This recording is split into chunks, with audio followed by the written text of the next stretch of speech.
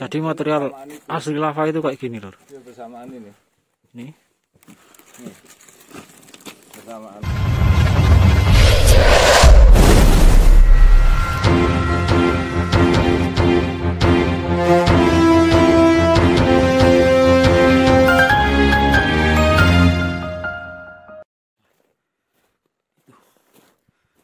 Lagi ngeluarin asap semuanya.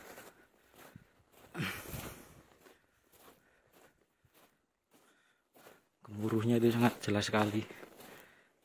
Ngeri-ngeri sedap. Ngeri-ngeri sedap di sini.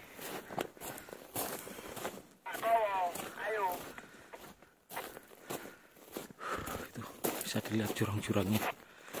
Sangat tinggi sekali. Ini lor. Uh, berapa meter itu tapi.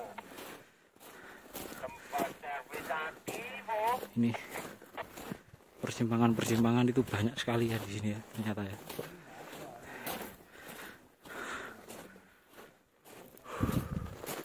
Batu-batu. Batunya besar-besar sekali, Lur.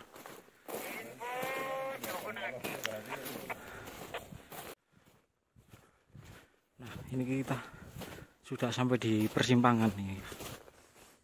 Jadi oh kita ke kiri lur. Bukan ke kanan ya.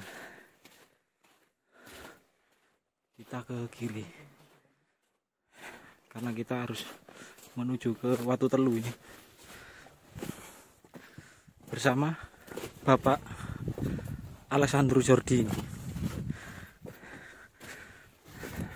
Sedang ngapain kita ada penelitian ini dan penelitian kita ya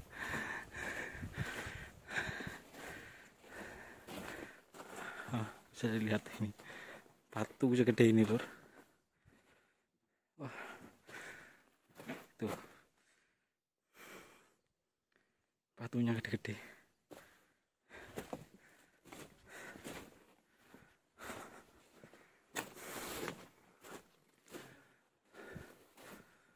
Oke, kita melipir terus ke kiri.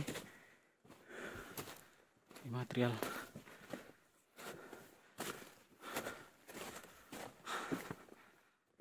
Seperti itu, Lur.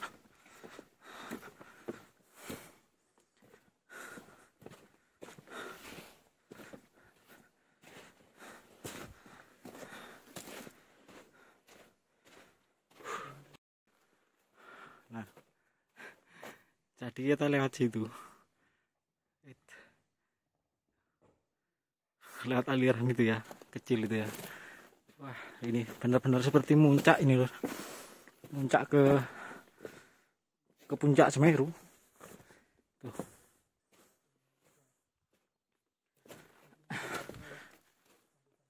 Makanya itu tidak direkomendasikan ke sini tanpa dampingan tim ahli Medan. Karena ini sangat-sangat berbahaya sekali dan radiusnya itu kita sangat dekat dengan kawah Semeru lur. Seperti itu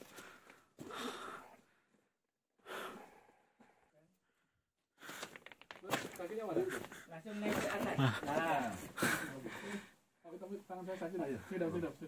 ini. Nah itu sangat berbahaya sekali di sini ya Ayo. Saya enggak narik jangan. Ini tangan saya sakit bang. turun ayo Oke teman-teman, ini trek yang kita lalui. Ini warga Semeru sedang merangkak naik ini. istimewa treknya. Ya si lava itu. Bukan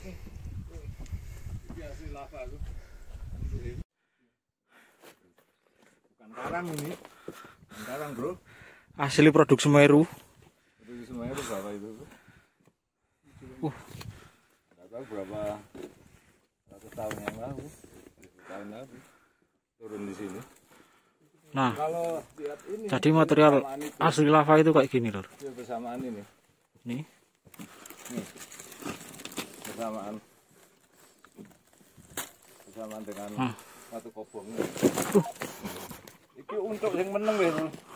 Jadi untuk itu iki kayak ngene. oh Kutuke. Biasanya yang bara api merah itu ternyata kayak gini. Nah, Terus yang kalau sudah ya. Lava. lapisan padat tidak ada oksigen, ya jadi batu-batu keras ini. Ini Hmm. masih ada oksigen semua. Penjelasan dari Pak Dan kayak gitu, Lur. Jadi ini lava. Benar-benar lava ini. yang biasa kayak busa tuh ya. Busa.